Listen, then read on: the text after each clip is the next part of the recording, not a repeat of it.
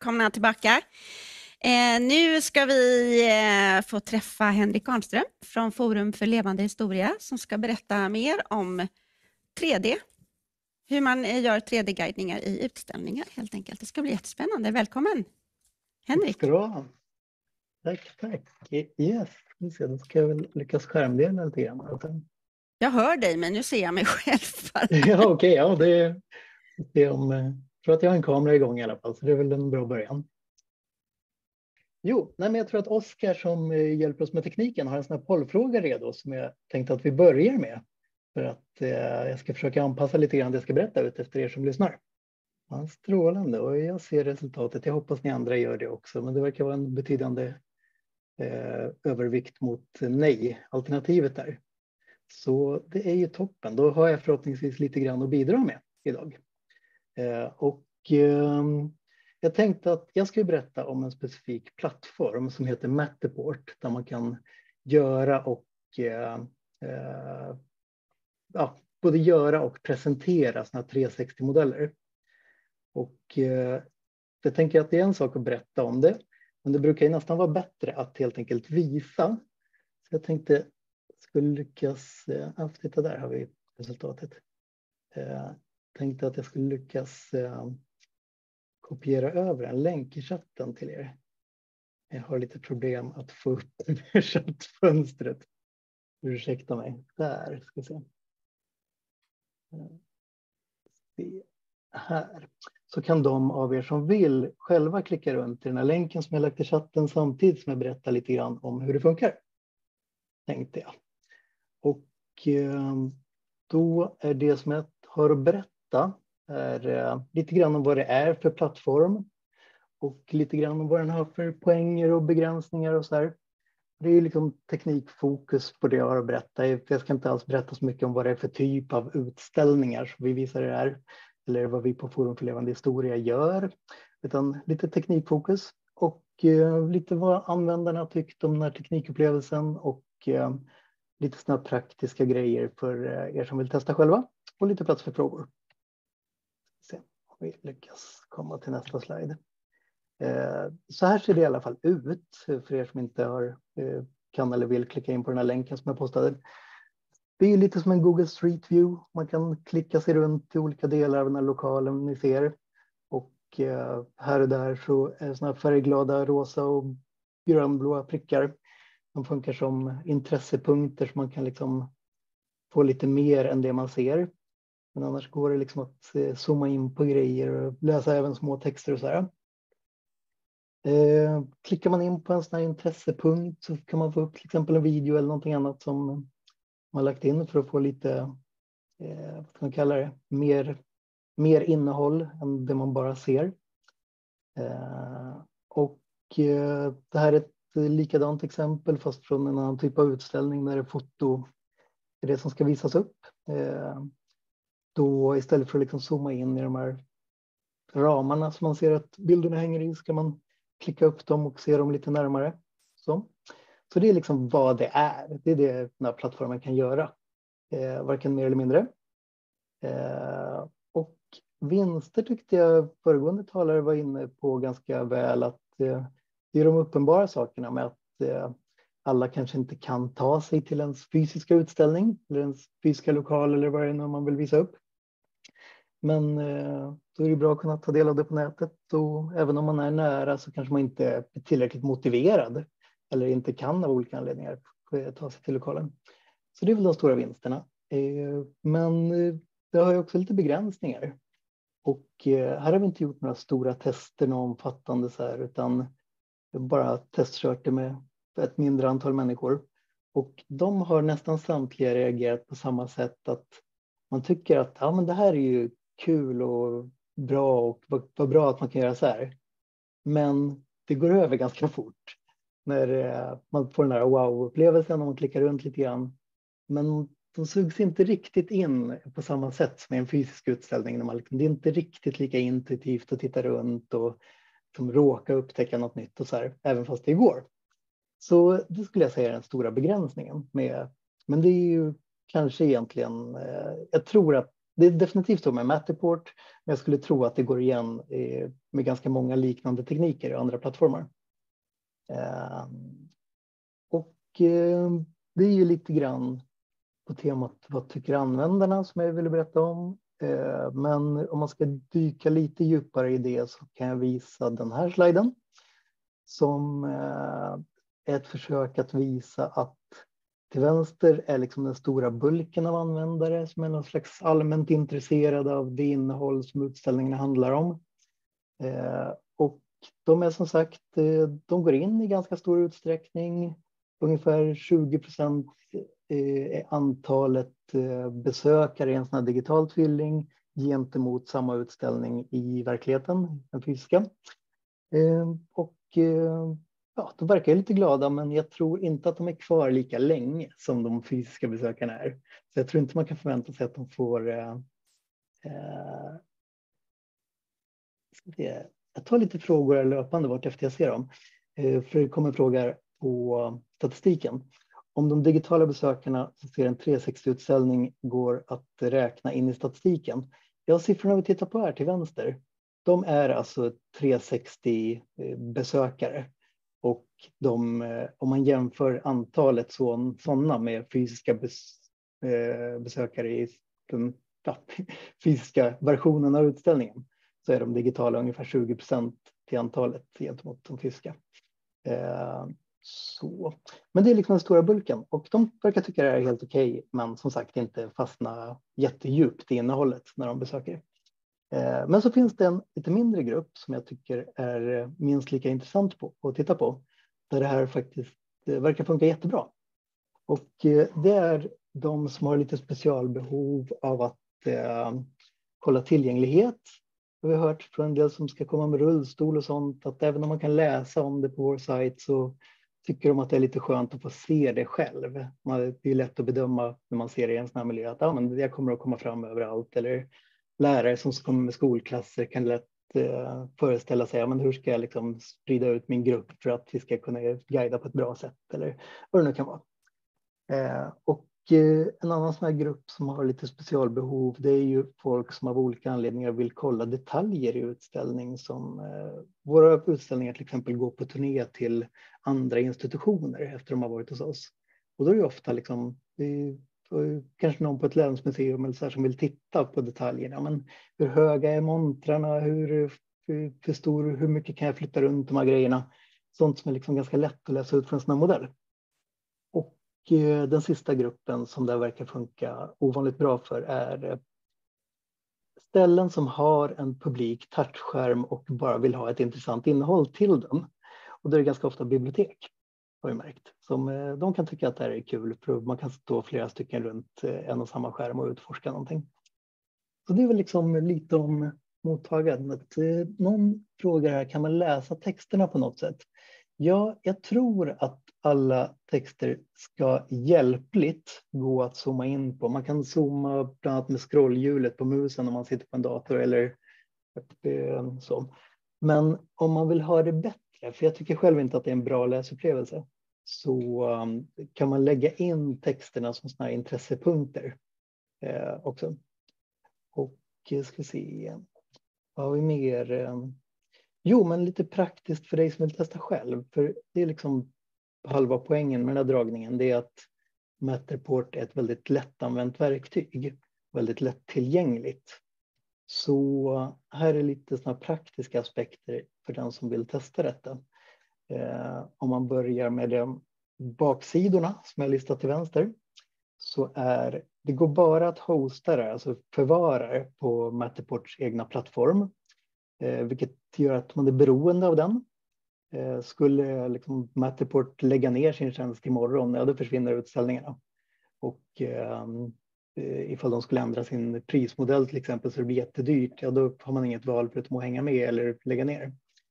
Eh, och eh, det är liksom ingen social plattform eller en stor plattform så, här, så att det, inte, det är inte en plats där man kan lägga upp något och förvänta sig att besökarna kommer bara för att det finns där. Utan det är precis som en, en vanlig utställning, man måste jobba för att dra trafik dit. Eh, och GDPR kan vara ett problem också beroende på vad man ger för tolkning där, vilken jurist man frågar. För de har sina servrar i USA. Så det ska man vara medveten om. Eh, men fördelarna är också stora. Eh, att det är med en billig eller gratis plattform beroende på hur man använder den. Ska man bara ha en miljö publicerad så är det helt gratis. Ska man ha flera som vi har, vi har tre, då kommer man upp till deras miniminivå, minimibetalnivå som är upp till fem miljöer. Kostar 100 kronor per månad ungefär. Eh, och Eh, att skapa själva innehållet går att göra själv med en mobiltelefon om man laddar ner deras gratis app. Eh, då blir det helt okej. Okay. Eh, vi gjorde det först och tyckte att det blev som sagt helt okej. Okay, men vi valde att vi ville ha det helt buggfritt, liksom inga synliga skarvar mellan bilder och sånt där. Så då tog vi in ett, ett proffsplåtis som gör sånt här. Liksom. Så då betalade vi 5 000 kronor för att få tre stycken utställningar dokumenterade och uppladdade. Så det är inte någon jättekostnad det heller om man vill ta hjälp med det. Eh, och eh, sista fördelen tycker jag är CMS, alltså plattformen där man behandlar de digitala miljöerna, man lägger in intressepunkter och sånt där. Det är jättelättanvänt. Så hos oss till exempel så jobbar jag med webb till vardags och då tänkte jag först att ja, men det är väl bra om jag lägger in innehåll. Men så jobbade jag tillsammans med en av våra pedagoger som inte är så teknikvan men hade mycket mer bra idéer på vad som skulle upp än vad jag hade. Och då var det så lättanvänt. Så jag sa, men du kan göra det här. Man behöver inte vara särskilt teknikkunnig för att göra det. Så, eh, så det är en stor fördel. Eh, ja, och jag raceade igenom lite grann och eh, har inte fler grejer att berätta om detta. Så vi kan hoppa direkt till eventuella mera frågor istället. Tack så jättemycket Henrik. Ehm, spännande. Ehm, nu svarade du på chattfrågorna själv, så då behöver inte Nina vara i bild något mer nu då. Nej. Ehm, jag undrar lite granna, ska se om jag kan läsa mina egna anteckningar här. Det var ju lite oväntat användningsområde där, att man går in och kikar för man ska komma dit med en klass eller hur ser montrarna ut, kommer jag komma fram och så. Är det någonting som, som var planerat att kunna använda det på det sättet eller kom det som en överraskning? Nej, inte alls, utan det, vi tänkte nog att det där skulle vara för ska man säga, en, en vanlig besökare som var intresserad av innehållet och ville ta del av en digital kopia. Eh, men, men som sagt, vi har märkt att de som har varit allra mest nöjda med det här, som liksom har sagt att ja, men det här är faktiskt skitbra, det har varit de som har haft de här specialbehoven innan. Mm. Um, du nämnde lite grann om, om priser och att, hur man uppdaterar och, och, och eh, underhåller den här sidan. Um, visst sa du att, att museilärarna eller pedagogerna kan gå in och uppdatera det här själva? Absolut, absolut. De här liksom små färgglada prickarna som vi har spridit ut i modellen där man kan klicka upp en video eller en text eller så här det kan liksom vem som helst editera. Man behöver inga specialkunskaper för att göra det. Utan det, det är lättanvänt så liksom när, när man väl har fotograferat av det. Ja, ja. ja. Det har faktiskt kommit lite grann i chatten. Okay. Uh, så jag hoppar in så ja. lite. kan vi köra lite växelvis. um, och det ser väl du också då Henrik, att det är dels en kommentar om att det är svårt att få igång filmerna, men mm. uh, också en fråga kring om, du pratade ju lite grann om 20 procent ungefär som besöker de digitala utställningarna. Vilken typ av besökare? Har ni gjort någon liksom mer detaljerad undersökning om vilka de är? Inte, vi har gjort väldigt lite undersökningar på de digitala besökarna och eh, det är väl en av bristerna i det här verktyget också att det finns inte så mycket statistik att hämta ut från Matterport utan det finns bara antal visningar av, eh, av motsvarande sidvisningar på en eh, vilken webbplats som helst. Så, så vi vet ingenting om vilka de är, de digitala och kan inte jämföra det med de fysiska då och vi vet heller inte hur länge de stannar, vilket jag gärna skulle vilja veta lite mer om för att se om de skulle säga något om ifall det var ett kvalitativt besök eller inte. Men, eh, men det vet vi tyvärr ingenting om och eh, har nog i ärlighetens namn sett det lite grann som att det var så lätt att göra en sån här grej så att även om det skulle vara halvkackigt så gör det inte så mycket. Till skillnad från större satsningar som man gör, då vill man gärna utvärdera lite bättre. Men eh, eh, ska vi se. Och eh, någon fråga om text uppläst, tillgänglighet. Det finns inte vad jag vet något inbyggt stöd för det. Jag vet inte hur det funkar om man har, som jag vet att många har, sina egna liksom, uppläsningsprogramvaror eh, i liksom sin mobil eller sin dator. Eller så, här, så vet jag inte hur de är kompatibla med det här. Men det finns ingenting, eh, inget inbyggt stöd för att få det upplöst uppläst. Är det några andra praktiska råd som du skulle vilja ge till de som funderar på att skapa sådana här digitala kloner av, av fysiska utställningar? Mm, ja, att testa. Bara köra igång och testa för att eh, det tycker jag är den stora fördelen med den, just den här programvaran. Det, det kanske finns en massa andra som är lika bra också, bara att jag inte känner till dem. Men jag tänkte att här kan man ju liksom bokstavligt talat på en timme eller två att ha gjort en test. Och det behöver inte ha kostat en krona mer än arbetstiden. Så, um, så jag tänker att nästan oavsett hur det faller ut så tyckte jag att det var en stor del av värdet för oss att vi fick testa tekniken överhuvudtaget för att det är så svårt att föreställa sig hur det är att berätta just den historia man själv ska berätta i den här tekniken innan man har provat.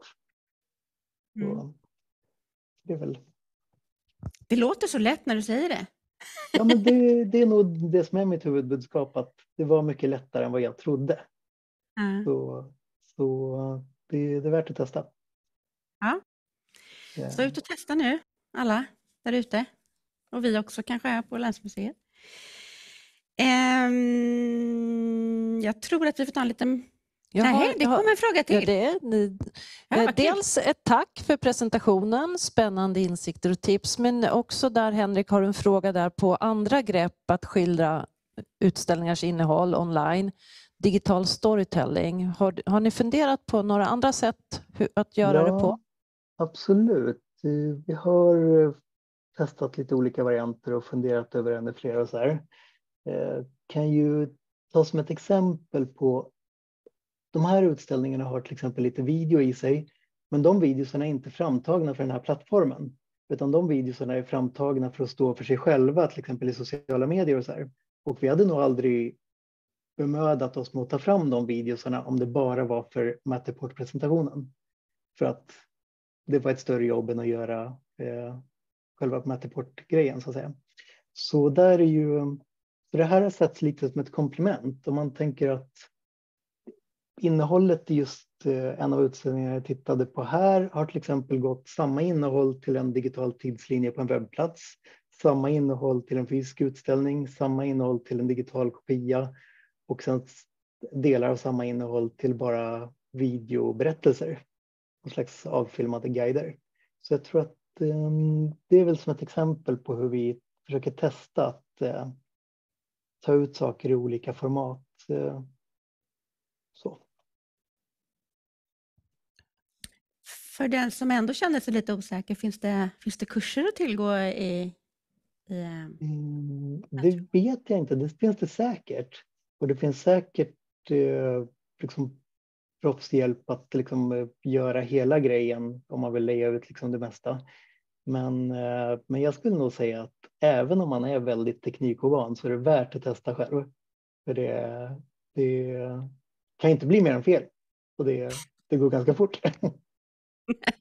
Nej, det är sant. ja. Då tackar vi dig så jättemycket Henrik. Ja, tack själva. Och vi tar en liten paus igen och så är vi tillbaka 13.30.